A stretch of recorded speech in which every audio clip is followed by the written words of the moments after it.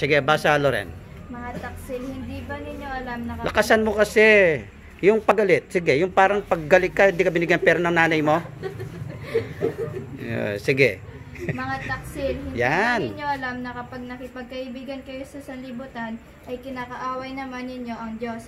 Ang sino mong nagnanais na maging kaibigan ng sanlibutan ay kaaway ng Diyos. Oh, ang nagnanais, di ba, na maging kaibigan ng sanlibutan. Ano sabi, Tat? Talagang ining katay ni kaleleke mo, babalang ko nagbla, mga pamulalaya. Oh.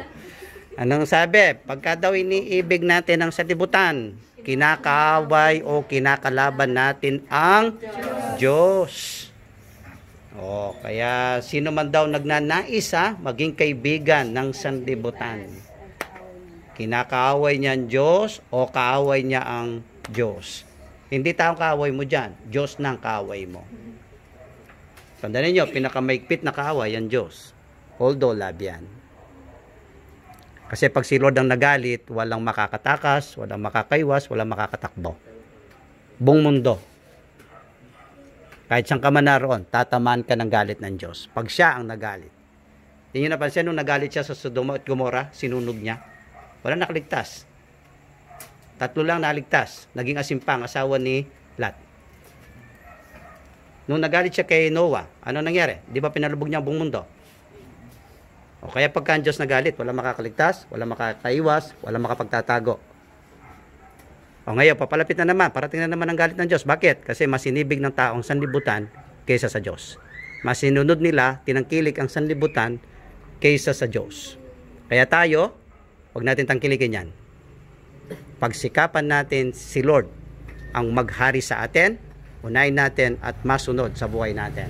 Amen? O, handa ba kayo sumunod kay Lord? Amen. O, walang absent ha? Amen. Yan. Isang araw, i-schedule kayo isa-isa.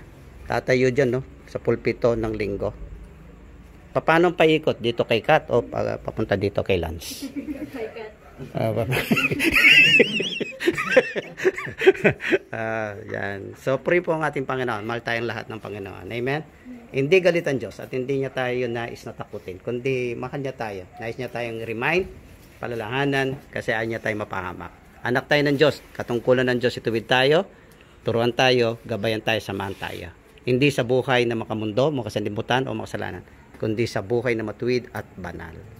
Amen? Lumayo, umiwas sa mga bagay na alam nating hindi sa Panginoon. Tandaan ninyo, mahal tayong lahat ng Panginoon. Pagsabi sa tabi mo, mahal tayo ng Panginoon. At sabi mo rin, ayaw kanyang mapahamak ka. Pangalungkot datangin mo. Wala maglami, tating mete.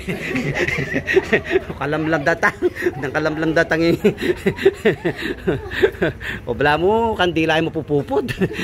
Tsaka bala ako pamengan. Marat na kaya. Ha? Oh, lambis ang mga game, marat na lang. O, sige.